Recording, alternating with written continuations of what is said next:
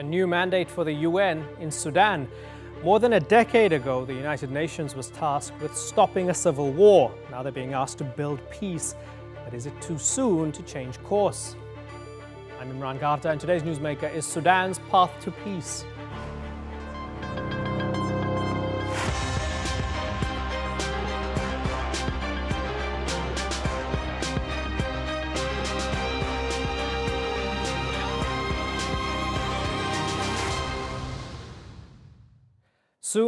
UN's official peacekeeping mission to stop genocide and crimes against humanity in Sudan will come to an end. But they're not leaving completely. For almost 13 years, UN troops have tried to keep peace after a brutal conflict in Darfur, which killed hundreds of thousands. Now, the UN has authorized a new mission starting next year to help Sudan's government transition to democracy.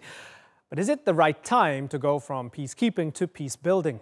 It's been just over a year since President Omar al Bashir was ousted, and the country remains fragile. And in Darfur, fighting may have declined, but the conflict is unresolved and violence continues to this day. So, once UN troops leave those vital areas, what could happen next? Natalie Perhernan reports.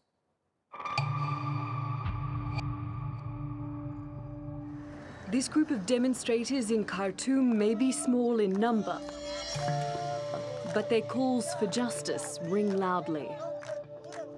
They gathered to remember pro-democracy protesters who were killed in a crackdown outside army headquarters last June.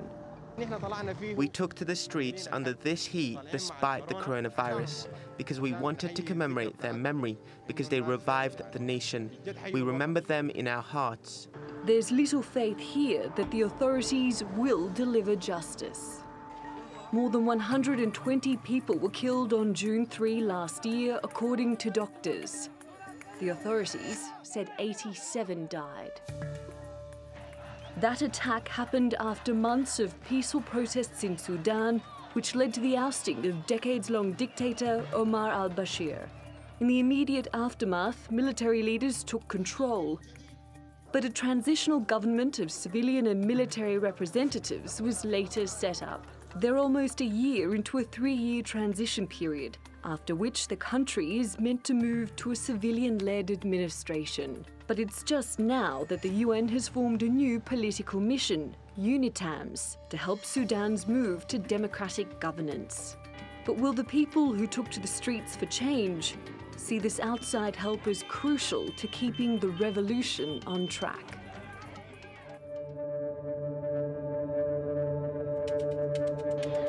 While the UN has set up a new mission in Khartoum, it's also extended its peacekeeping operation in the western region of Darfur.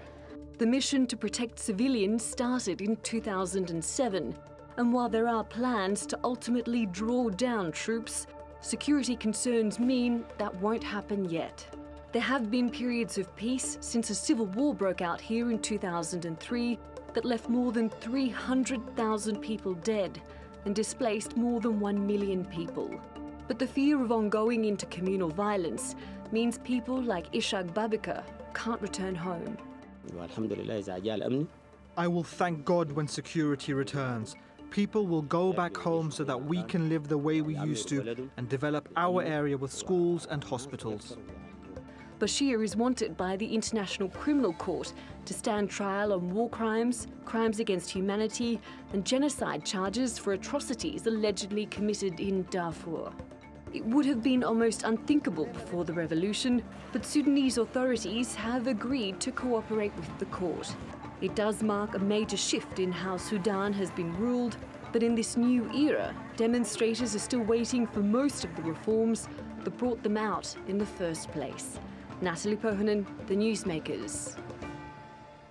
Well, to discuss this, I'm joined now from Uganda's capital, Kampala, by Abdulatif Rahman, also known as Tibo. He's a member of the High Command Council of the Sudan Liberation Movement, the faction chaired by Abdul Wahid al-Nur. In Washington, D.C. is Cameron Hudson, who was the former chief of staff to the U.S. Special Envoy to Sudan. And in London is Abu Bakr Adam, the former chair of the UK Sudanese Lawyers Association. Gentlemen, really good to have you all on the program. Abu Bakr Adam, let me start with you. So we've got a new acronym to, to learn here, UNITAMS. We've got this transition from UNAMID to UNITAMS. The UN has a plan. Is it the right plan? Yeah, um, we, we welcome the United Nations Integrated Transition Assistance Mission in Sudan, uh. Um, this is um, a very good move by the government and the United Nations as um, addition to the UNAMID. As we know that it's going to go in phases and it's going to be kind of transition. And as the name says, it's the integrated function, which is going to work with the different uh, part of the UN uh, uh, offices in Sudan and to move from peacekeeping which is a long and it's a very big uh, effort for the Sudan and challenge actually. So right. I think we are we welcome move by the United Nations and by the Sudanese government. Okay, you know, good to hear that from you. I wonder what Abdul Latif Rahman thinks about this, also known as Tibo. Sir, as a representative of a of an armed group that's currently involved in the conflict on the ground, when the UN says we're moving from peacekeeping to peace building, your reaction is what? Uh, thank you for giving me opportunity. Uh, the overall withdrawal of the UNAMID mission is related to the situation on the ground in Darfur as well as the political crisis in Sudan. And if we look at the political situation in Sudan, the situation looks uh, very bleak. And frankly speaking, uh, His Excellency uh, Prime Minister Hamdok's government is in a powder cage. We have the civilian elements uh, of the of the of the transitional government, which struck a compromise deal with Al Bashir's uh, Security Committee. The civilian government is much divided, with a lot of rivalry currents within it. It is, uh, and therefore, it is not acting in unison. It is struggling to assert its authority after all the move and and, and everything was taken by the, the military establishment. Mm-hmm. And that is why you see the daily jump of these forces from the bandwagon of the transitional government. Right. This is on in one hand. On the other hand, we have tension and mistrust between the chairman of the Sovereign Council, Al Burhan, and his deputy Hemedti. Tension and mistrust is growing up rapidly and, uh, and might end up into a develop uh, it might develop into armed uh, confrontation between the army and the rapid support, support forces okay. as al-bashir's general see Hemedti uh, as a tool of purpose. Oh, he should know his place, and that should not aim right, high. Right. Given this, give me a, give me a yes. second here. Uh, I'm going to come back to you, and I want to specifically ask you about specific instances of violence, such as what happened in Jebel Marra recently. I'm going to come back to you in, in a minute or two. But I want to bring in Cameron Hudson to the point of trust here. For a lot of Sudanese, with the UN creating some sort of vacuum, even though things will get repurposed, renamed, reshaped, or whatever, creating a sort of vacuum and putting things in the hands of the same military, mostly the same military that was accused of genocide, war crimes, and crimes against humanity, they feel this is a sort of death sentence. Is that correct? Well, I don't know that it's a death sentence, but uh, it's not a perfect outcome, right? I think that we've seen in the past few weeks and months over 100 Darfuri civil society organizations protesting the departure of UNAMID. They still don't feel safe. They don't feel safe to leave the internally displaced persons camps that they have spent the better part of a decade in. They don't feel safe to try to return to uh, to normal life. And as you point out, uh, the government really hasn't changed. Yes, we have a new uh, civilian face, which I think is implementing many, many important uh, reforms in the uh, in the space of personal freedom. But when it comes to the control of the security situation in the country, that remains firmly in the hands of the military and the paramilitary forces that brought about all of the conflict. Um, and it's not just in Darfur. We should point out that the Nuba Mountains in the southern part of the country, the eastern part of the country, have all seen an uptick in tribal violence. Mm-hmm. Uh, many of uh, many of those uh, uh, bouts of violence. Uh, it is rumors, rumored and alleged that the military and the RSF forces had a role to play in stoking that. Uh, all of the governors of all of Sudan states are currently military generals of the old regime. So there is a very heavy uh, political and security presence that Right. the military still controls. That the UN will be very, um, you know, have a very hard time uh, reining in through this new mission. Yeah, it's worth noting that the UNITAM's statement or the statement from the UN about the creation of this doesn't just include Darfur, it, include, Darfur, it includes the southern Kordofan and Blue Nile area as well, which of course gives you an indication that they're not just looking at this one place. Abu Bakr Adam, so we began this program with you saying this is a good idea. Then we heard from the other two guests who are saying, well, ostensibly maybe it's a good idea, but there are, there are a lot of issues on the ground related to instability, insecurity, millions of IDPs, and lack of trust among many actors here, which means that, well, we just don't know. Are you partial to some of that criticism?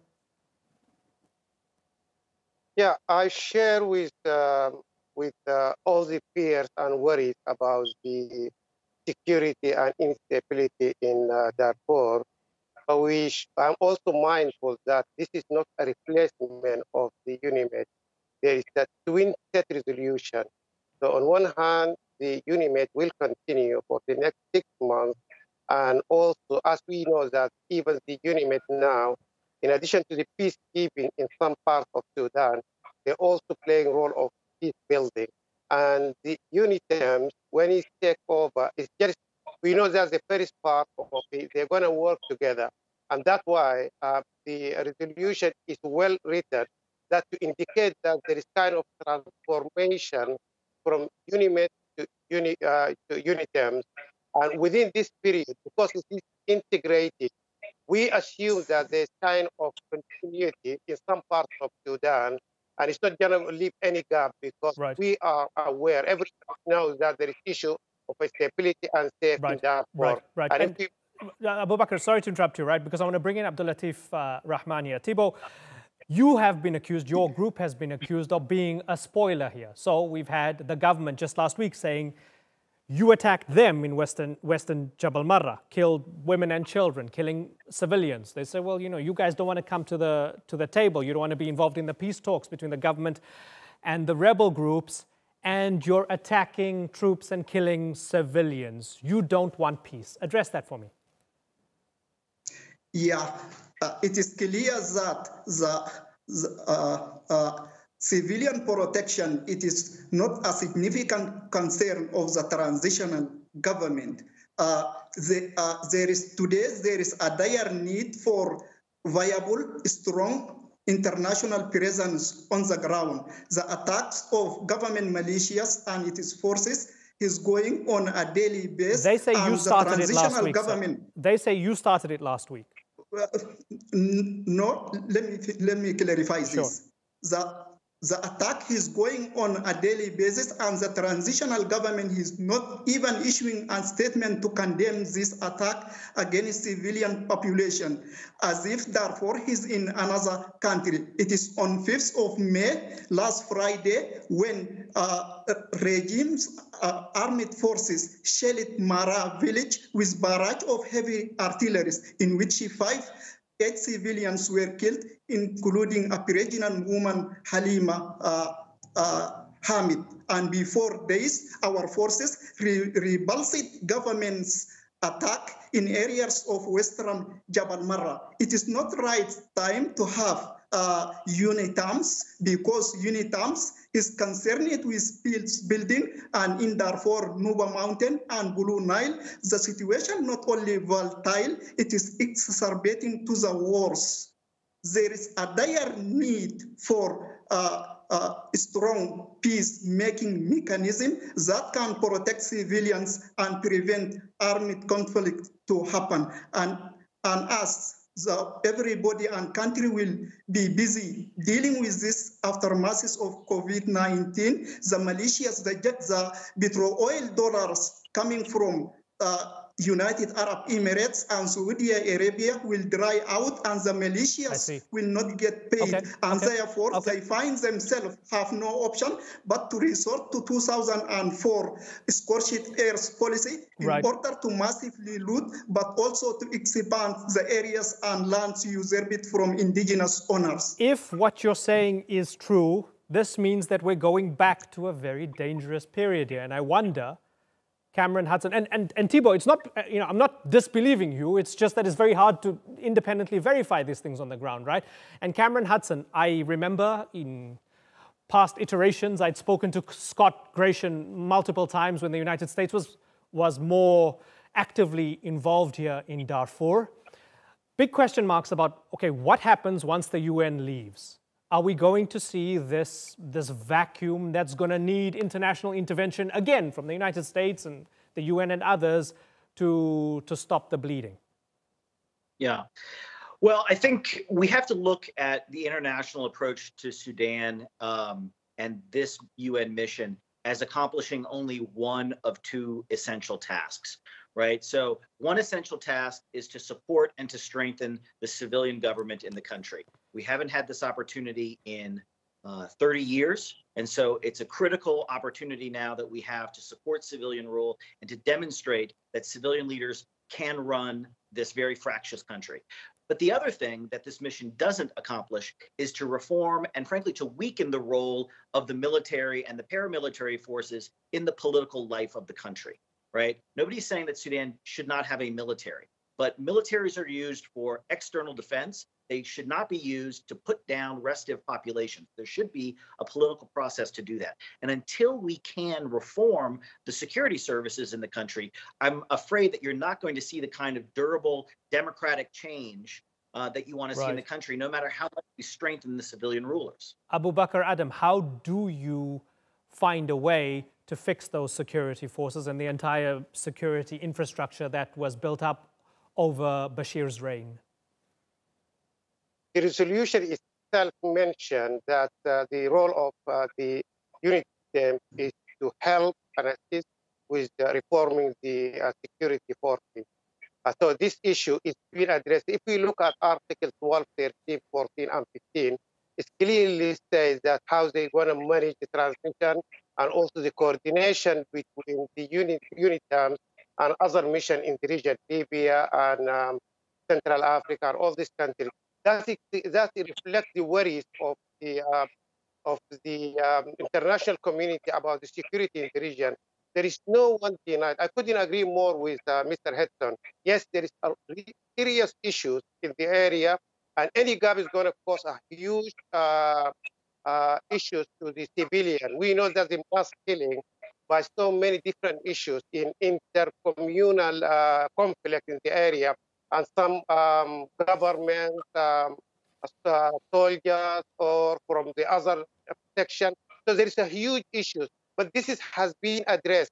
When we look at the resolution and we look at you know, on one point, on one point is helping the transitional government, that uh, the transitional uh, justice, and also building the security, helping financially. Right. So the objective and aims of the resolution is really encouraging and it really needs our support right. because it will be benefit of Sudan. Okay, my final question is for Thibault. Abdulatif Rahman, for a lot of people watching this around the world, for whatever reason, Darfur has fallen off the agenda. They stopped talking about it. They were talking about it a lot a decade ago, 12 years ago, right? People were campaigning for it. For those who feel that Darfur is a thing of the past, what is your message to them? Uh, the genocide survivors of Darfur feel, feel grossly betrayed by the interna international community, especially after UNAMID handed over its bases and assets to the rapid support uh, forces. There is today, there is a dire need for strong international uh, presence. And it is very ridiculous in the volatile situation and explosive And the worst case scenario that we are talking about overall withdrawal of the UNAMID mission. UNAMID ought to be reinforced with uh, more staff and troop, weaponry, and protection-related mechanisms in order to save lives. I appeal to world community to rethink its plan of, of UNAMID overall withdrawal because uh, the coming phase of genocide will have uh, serious ramification on the population on right. the ground. Abdulatif Rahman, Cameron Hudson, and Abu Bakr Adam, really good to talk to all of you. Thank you very much for joining us.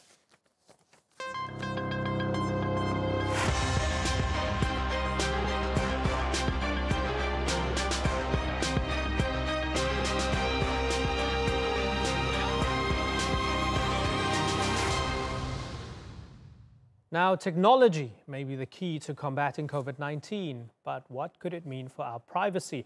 Governments are desperate to keep infection rates low and prevent future outbreaks, and contact tracing technology is thought to be the answer. Well, Singapore's Trace Together app has been quite successful already, and uh, other nations are following suit, including India, China, and the UK. But while this technology may help ease lockdown restrictions, they require vast amounts of personal data to work, and our next guest fears they could be misused by those in power.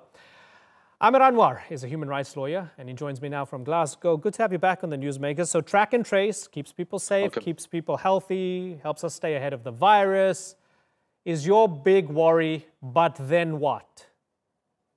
Well, uh, I beg to differ from the government. I mean, the Joint Committee on the Human Rights has already said um, you need to have essential legislation to be enacted to ensure that mass surveillance um, of personal data doesn't result in violation before the trial is rolled out. Um, there's a huge question mark over this as well that 20% of UK society doesn't have smartphones, for instance. Mm. So, does that mean the vulnerable, the weak, the poor, um, elderly, uh, minorities um, will be um, not part of this system, which then leaves a loophole and also leaves the added danger of this sort of sense of complacency, thinking that we've got this contact tracing. The other issue arises, of course, especially with the UK government, is who are they rolling this contract out to? Um, how have they ensured that um, personal data will not be shared? We've had so many instances of in the past where um, the data has been shared. Um, you know, organizations and companies have had the information hacked, and we're talking about personal. When they say there's anonymity attached to this, there's no anonymity. Once the data is shared with the data controller, the anonymity ends. You're talking about confidential patient data. And, and, and some some concerns of like computer savvy people have raised the question that would be an easy option for people with Bluetooth to device an app to be able to tell you if somebody sitting right. next to you, for instance, in a cafe, actually has coronavirus. so, so what do you want them to do? Do you want them to make the argument for why this is, you know, potentially good, to explain the technology with transparency, and then to have a debate about it so you can legislate and regulate? Well, but yes, they need to make the argument first of all. They can't just rush this through. far too often we've seen this UK government talking about rushing things through. I mean, it was only some several weeks ago where they said you didn't need to have quarantining people arriving back in the UK, and now all of a sudden quarantining is, is is good advice. Before they said there was to be no masks, and now they say masks um, are, are, required to be introduced. They have to get their acting together. I mean, the reality mm. of it is that probably up to 60,000 people have died in this country because of COVID 19, and that's due to the incompetence of this government. Um, you know, we, it's almost as though this government is doing knee-jerk reactions and trying to sort of get itself ahead of the curve mm. and, and try and introduce sort of headline um, sound bites in order to be able to say to the people that they're doing something without actually thinking through what the reality is. Crucial. Um, privacy is crucial as parts of the human rights of right. British citizens. And secondly, because you need safeguards, and they haven't come up with the the issue. They have not responded to concerns of various individuals and organizations said, what about the safeguards? If you could rush through the COVID 19 bill in the space of two days, right. Then surely they could put their minds to the, the legal safeguards that should be um, introduced in order to ensure that the data is not shared, that personal data is not shared, that people are protected, and answer the question what do you do with 20% of the country that don't have a smartphone? Does that mean that we will not know about the 20% of people that we come into contact right. with right. that may be able to spread COVID 19? And then you could have you know, the second spike, which has been predicted to happen as a result of the incompetence, the lack of PPE, and all the other issues that have gone with this scandal that is coronavirus. Yeah, all major questions regarding civil liberties and privacy here. Aamer, we don't have much time. I just want your very okay. short reaction to something that I came across in Bloomberg In doing my research for this segment, today news, Peter Thiel, uh, Britain's NHS allowed secrets of US technology company Palantir Technologies, Inc., access to sensitive personal data of patients, employees, and members of the public under a deal to help it cope with the COVID 19 outbreak. I just got that from Bloomberg today. That was released a few hours ago. Peter Thiel's company doing business with the NHS. Nobody knew about it beforehand. Your reaction to that? Well, the, the, government has not been transparent, they've not been accountable, and that's one of the central concerns here that the government are doing dirty deals behind closed doors, and there is no transparency and accountability. And uh, people of this country need to know that their data isn't being shared, it isn't being sold on to other companies to be able to use and for them to profiteer. That was one of the concerns that we had about post Brexit, whether this government, with um, the Americans, companies, corporations, will use the opportunity to open the door and to be able to sort of farm out private patient data and to then be able to contact them and for us to be bombarded. Right. That's the central concern is what, what why the mad rush? Why are they trying to use COVID-19 as, you know, they haven't had a mad rush over COVID-19 for anything else, but all of a sudden on this issue, they're sort of trying to railroad it through without any checks and balances. I don't trust this government on anything, and I don't think the vast majority of people in this country actually trust the words that comes out of their mouths. Aamer Anwar, really good to have you back on the Newsmakers. Thank you, Thank you very much Thank for you. joining us. You're welcome. Well, thanks so much for watching the show. We'll see you next time. Bye bye.